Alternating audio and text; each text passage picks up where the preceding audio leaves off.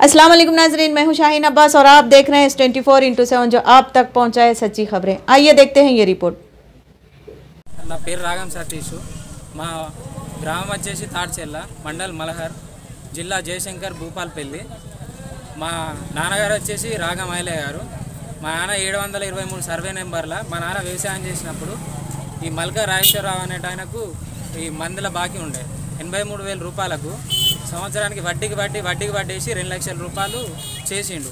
మా నాన్న అది తట్టుకోలే మల్క రాజేశ్వరరావు చేసిండు. చేస్తే మా నాన్న నాకు నేను హైదరాబాద్లో వర్క్ చేసేది. ఆ టైంలో పిలిచి ఇదేందో చూడరా అంటే నేను చెప్పిన మా నాన్నని పీడిస్తే నేను చెప్పిన. ఈ మల్క రాజేశ్వరరావు దగ్గరికి వచ్చి నేను ఈ రెండు లక్షల రూపాయలు అయినాయి దీనికి వడ్డీ కడతావా?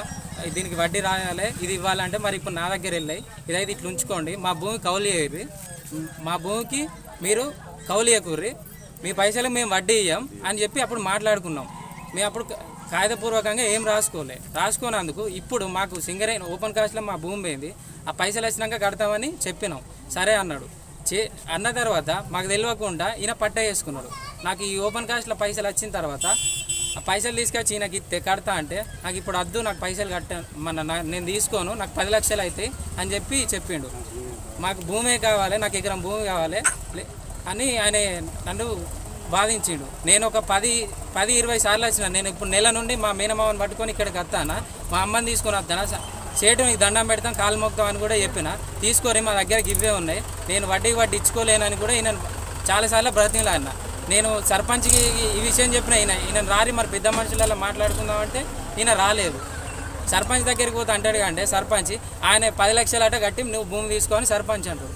ఇదంతా ఈ దొంగ పట్ట వేసుకున్నది వీళ్ళ వీళ్ళ తమ్ముడు నమస్తే తెలంగాణ విలేకరు గోపాల్ ద్వారా ఈ పట్ట వేసుకున్నాడు. ఇది అడిగితే ఏంటంటే ఇది దౌర్జ ఇది దౌర్జన్యం ఇట్లా చేసుకోవద్దంటే ఏం చేసుకుంటావు చేసుకోపో అని చెప్పి అని అంటాడు. ఇది అంతకుముందు కూడా ఈయన మల్క ఈయన మల్క గోపాల్ నమస్తే తెలంగాణ అన్నట్టు ఆయన ఈయన వేరే కూర్చొని వాళ్ళది కూడా ఇట్లనే కౌలుకు దున్నుకో దున్నుతా అని చెప్పి ఈయనది రెండు ఎకరాలు పట్ట చేసుకున్నాడు. అప్పుడు వాళ్ళు చెప్పులు చీపులు పట్టుకొని వచ్చినాక ఆయన దానికి పట్ట చేసారు ఇప్పుడు మాకు ఏంటంటే మాకు న్యాయం జరగాలని చెప్పి నేను మే- మేము అందరినీ వేడుకుంటాను? వీళ్ళందరికీ చాలాసార్లు చెప్పిన ఈడెవరని అడుగురు? ఇది కాస్తుకున్నది ఎవరు? మేము.